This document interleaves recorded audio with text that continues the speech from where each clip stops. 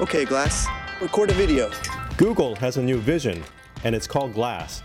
It's the must-have tech gadget at the moment, but cardiothoracic surgeon Dr. Pierre Theodore believes it can do much more. Maybe even revolutionize the way doctors perform surgery. In terms of the vision of the future, I think the future is almost limitless. Google Glass is a wearable computer configured similar to a pair of eyeglasses, but with an optical head-mounted display. So when I look at you right now, I'm seeing right through it. Nothing's displayed. When the device flips on, it takes up a small quadrant of my vision, almost like if my vision were a tic-tac-toe board, it would take one of those upper corners.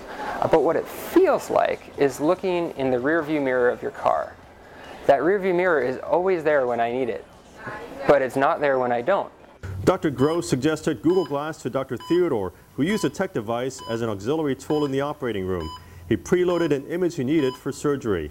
Not only is it truly right in front of your vision, it allows you really to not lose your concentration directly with the patient. That means that at the same time that you're interacting with the patient, you can merely change your attention ever so slightly to look at the specific images that you need to help guide therapy.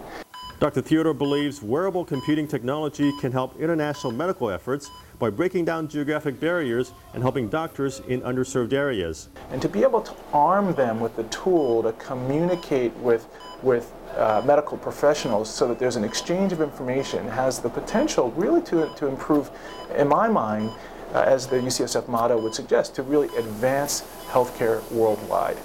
And this innovative use of technology has helped turn science fiction into simply science. Okay, Glass, record a video! And so things that, that once seemed uh, socially taboo or uh, just really out there on, on, the, on the spectrum of what's culturally acceptable have become the norm. And, and I see the same thing is, is going to happen for wearable tech.